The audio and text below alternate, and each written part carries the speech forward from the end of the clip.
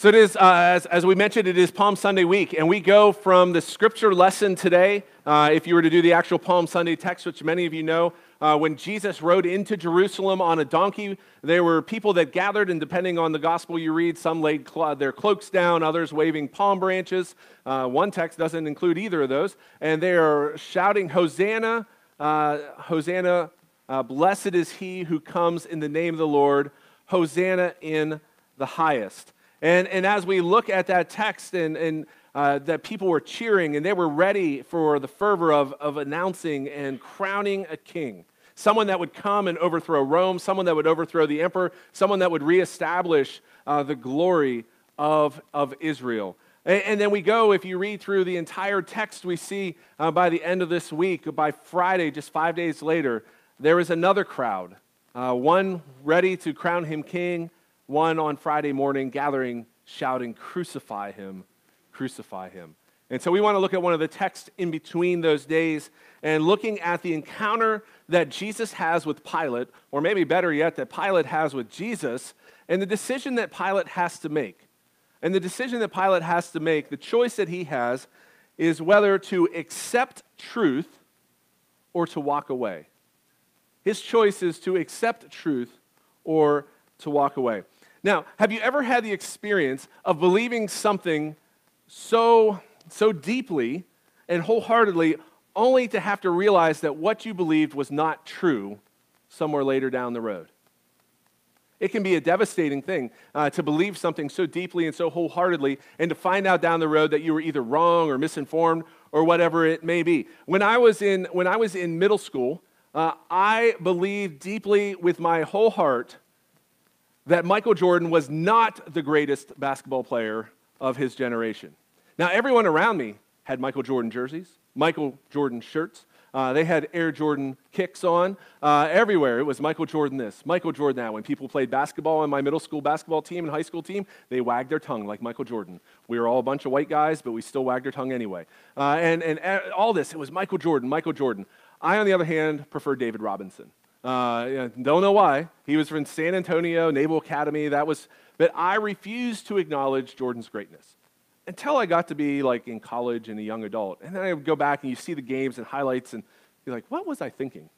Like I had this pride about me that refused to allow me to say the greatness of Michael Jordan. And so, uh, you know, that, that, that that's, has sort of changed over time. Now, on a more serious level, on a more serious level, growing up in the community I've grown up in, and I've shared it before, I grew up in a rural farming, a rural poor farming community, uh, and where there was no diversity whatsoever. Uh, it was uh, uh no, diverse, no diversity. We were all white.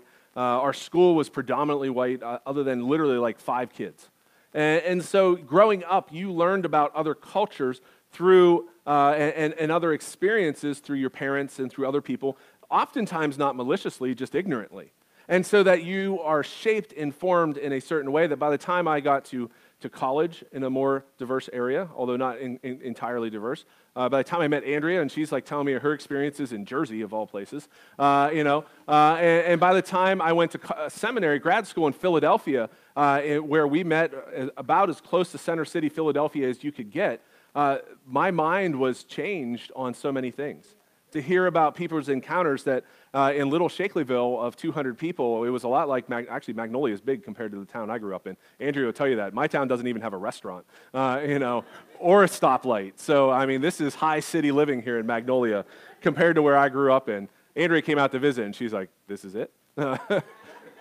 we do have the Twin Kiss, so if, if you ever come to Shakelyville, you have to go to the Twin Kiss. But, uh, you know, but growing up in that area, like, I believed a lot of things about a lot of different people because of, and, and oftentimes it was the ignorance of it. And I could go through, and I won't go through it today, just some of the things that, that I've had to, that I've changed my mind on, uh, that I've come around to see differently, that I've had to embrace truth in a different way because my lack of experience or the, the negative experiences I had of the way I grew up, uh, it, it, it's challenged me, it's changed me. And so I've had to look and embrace truth and embrace other people differently. And, and sometimes it's led to having to repent about that as well uh, for the attitudes that I've had and the beliefs that I instilled, sometimes embedded deep within me that I didn't even realize were there until someone's like, uh, Steve, you need, to, you need to check that a little bit. Well, in John 18, uh, as we said, I think we're going to look at what Pilate has in this idea of his opportunity to embrace truth. And let's, let's talk through the passage real quick and what's happening here uh, because there is this interaction between two different cultures. There's this interaction between two different uh, belief systems here. So in John 18, Jesus is arrested by a detachment of Roman troops and Jewish officials, and uh, he was brought before Annas, the former high priest, and Caiaphas, who was his son in law, who was the current high priest. And the Jewish leaders took Jesus to the palace of the Roman governor, a man by the name of Pontius Pilate. Now, from biblical and extra biblical sources, historians know Pilate uh, as someone who lacked a lot of morals. He was, he was brutal. Uh, he was someone who uh, vacillated on positions depending on what benefited him the most. Uh, which you know sounds like a complete politician when you think of it that way. Uh, but Pilate would often hide his flaws through his stubbornness and his brutality.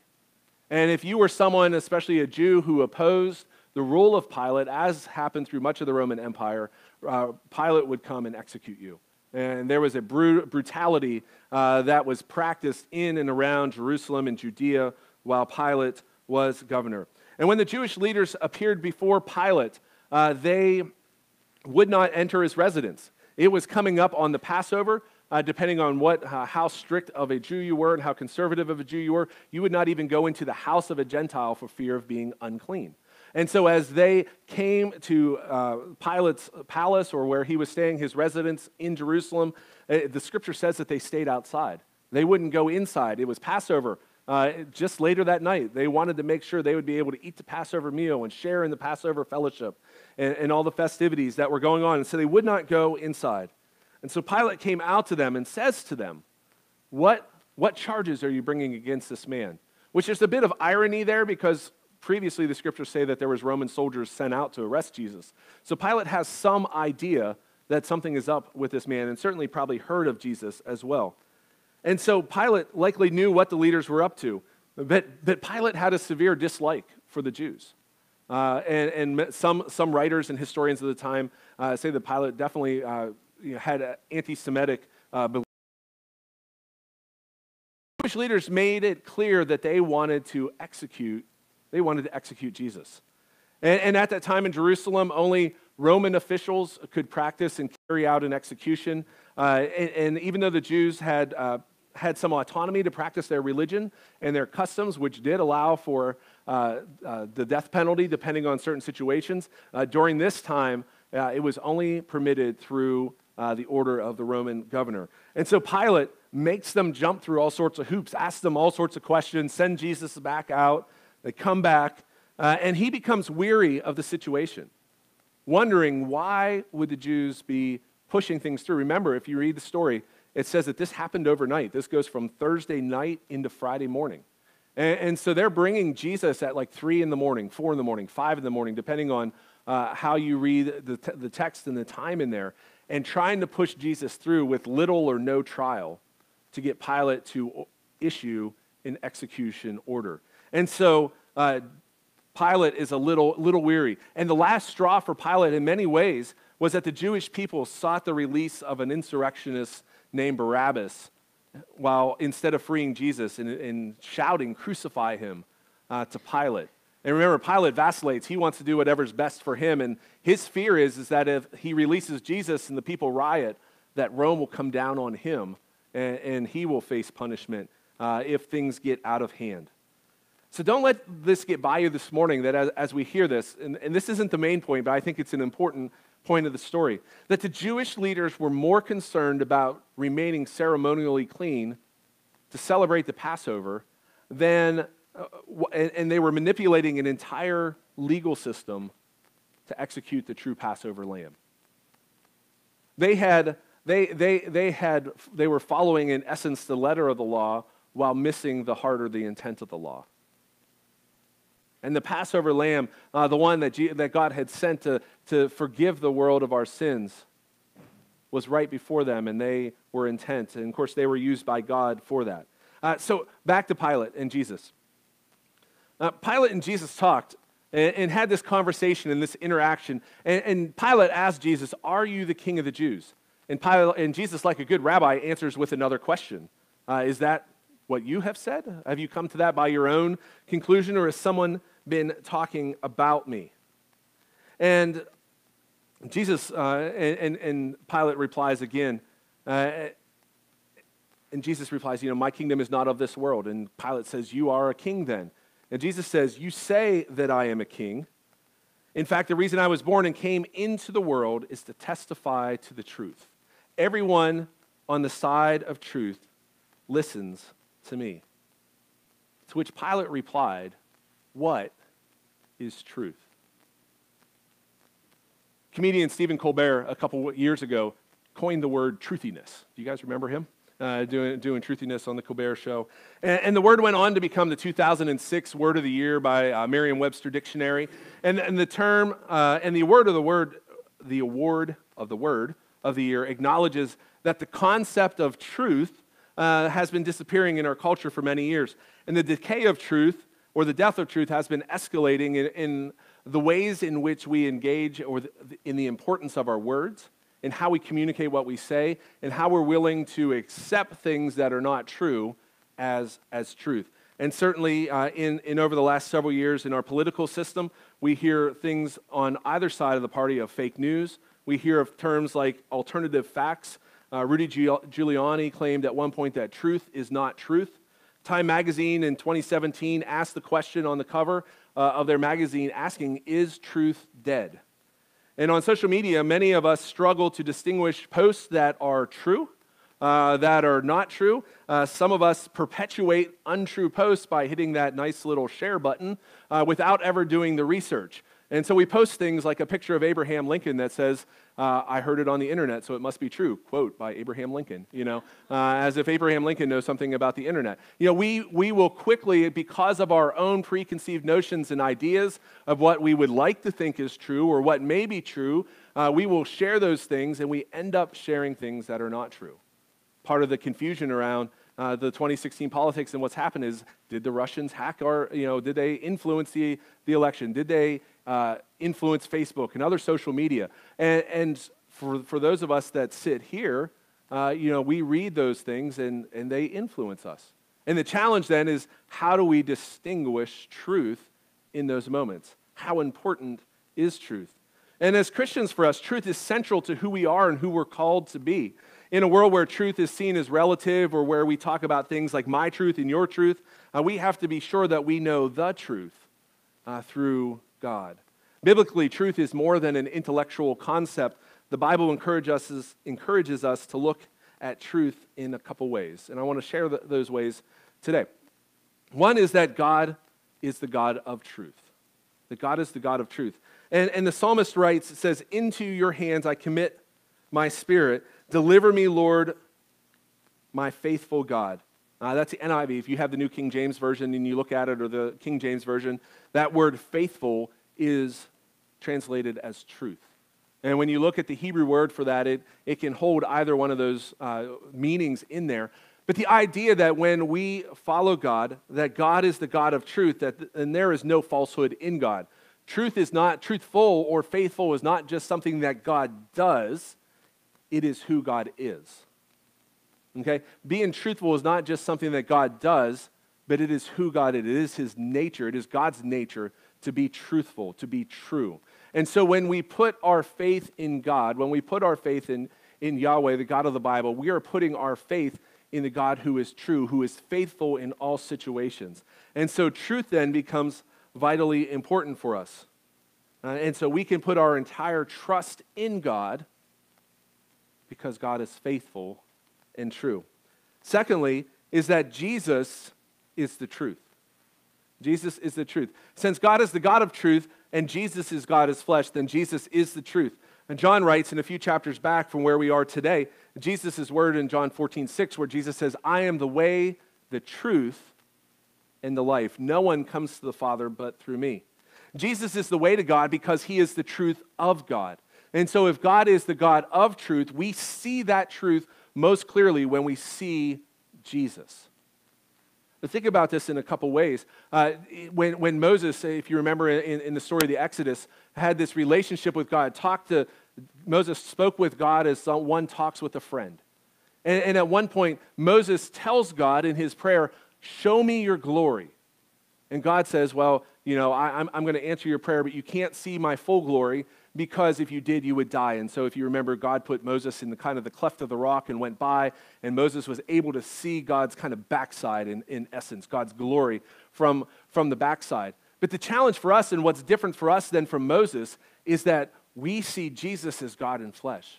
Jesus is the full embodiment of God. Jesus uh, is fully God and fully divine. And so uh, there, there used to be a song uh, back in the early, late 90s, early 2000s, a worship song uh, that, the chorus said, I want to see you, I want to see you. And talking about, you know, this longing to see God's presence. And the truth of the matter is, is when we see Jesus, we see God. Because Jesus is God. Jesus is God in flesh. And so if God is the God of truth, then Jesus is the truth of God. And because Jesus is the truth, Jesus embodies this full revelation. And so when we discover, fully discover God and what life with God looks like, if we want to do that, we have to do it through the lens of Jesus, through a relationship with Jesus. And this is what it means that Jesus is the truth. And Jesus says that this is his mission in our passage today in John 18.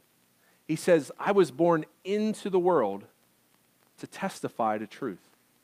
And so when we see Jesus, what we are encountering is the truth of God, who God is. And so, especially this week, this Holy Week, when we, when we come and we celebrate Jesus being raised up as king and elevated by the people, uh, you know, riding in on a donkey, and, and, there's all sorts of scriptures that we could go back to on a normal Palm Sunday uh, on why, why Jesus did that. But then to, to die on the cross, to be raised from the dead, it is the truth that God loves you and me. That Jesus took on my sin and my shame. That Jesus seeks to, God seeks to restore my life and redeem my life through Jesus. And so when I embrace the truth of who Jesus is, then I can live in that truth, redeemed and restored by the blood that Jesus shed on the cross and the hope that we have that Jesus rose from the dead. And so finally, the application of this comes here that if we call ourselves disciples of Jesus, if we call ourselves followers of Jesus and have a, a relationship with Jesus Christ, uh, who is the truth, who is God's truth, then disciples of Jesus must be seekers and speakers of truth.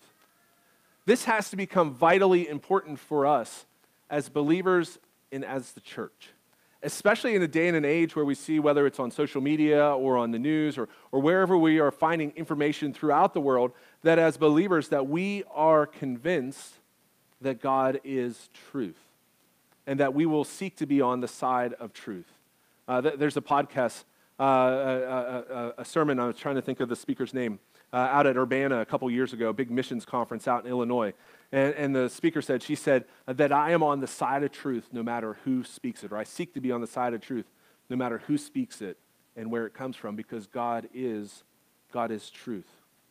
And so, as disciples, then, we should pursue the truth of who God is with all our heart, soul, mind, and strength. And when we pursue the truth of God, we will begin to live out the truth of who God is in our world.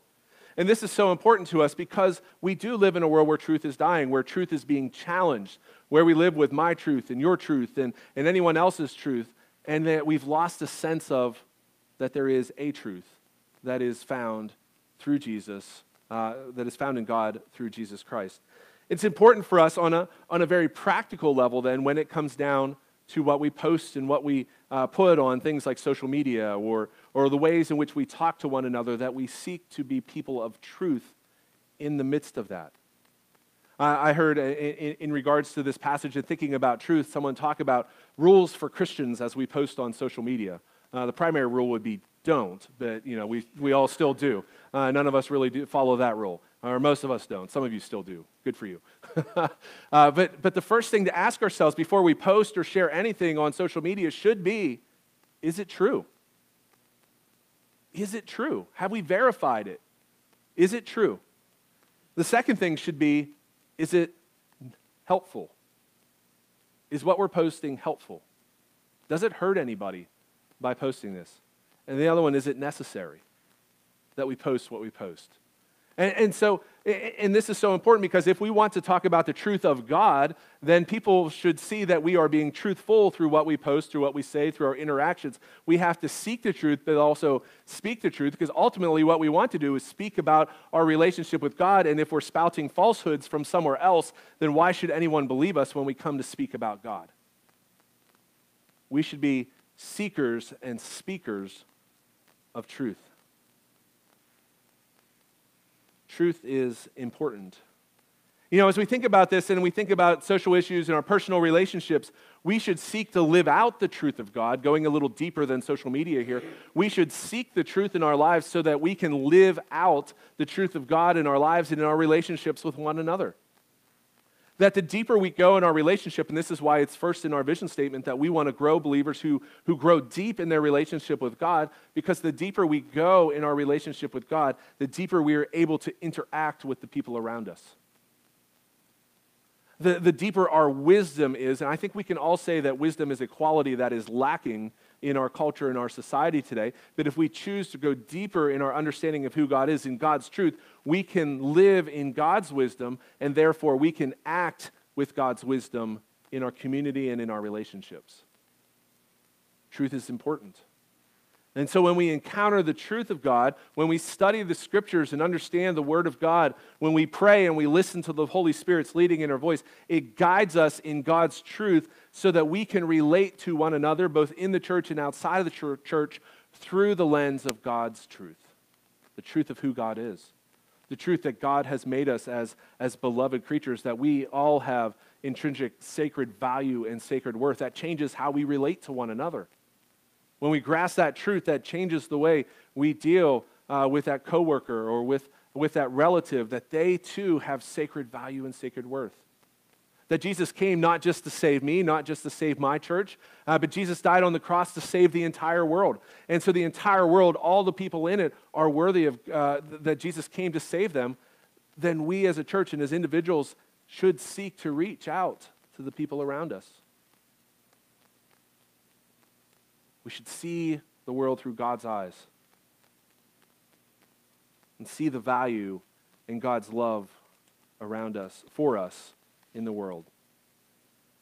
I think we need to hear Pilate's question and consider the choice that Pilate had here. Because here, Pilate has this one on one interview. They're away from the Jewish leaders. There's probably a couple soldiers around, but Jesus is, you know, who knows, in handcuffs or something, shackled. Uh, he, he, he is no threat. In fact, he tells Pilate flat out, I'm, I'm a no threat. You know, he said, if I was a king, my followers would rise up and rebel and they would come and rescue me. Uh, he said, I'm no threat to you. And when Pilate says, What is truth? the irony that you and I know through the lens of the gospel is that Jesus is truth standing right there in front of him. If you read through those the, the words of Jesus in there. It is as if Jesus is offering Pilate the chance to accept the truth of who he is in that moment. And Pilate turns and walks away. You and I have the same choice today, throughout Holy Week, each and every day that we are confronted with the truth of who Jesus is that Jesus is the Son of God, died on the cross, buried for three days, rose from the dead to forgive us of our sins and to give us hope of resurrection. We can become face to face with that truth, and we have a choice to make. Will we accept the truth of who Jesus is and its implications on my life? Or will we turn and walk away as Pilate did? Later washing his hands of it, trying to absolve himself from his role? Will we accept the truth or will we walk away from truth? And so we have that choice to make. And the truth is that the truth of God is Jesus, our Savior and Messiah. That Jesus is the Passover lamb slain for the forgiveness of the world, for your sins and mine that Jesus paid it all for my sin, that Jesus paid it all for your sin. But we have to embrace that truth to live in that freedom. Let's pray together.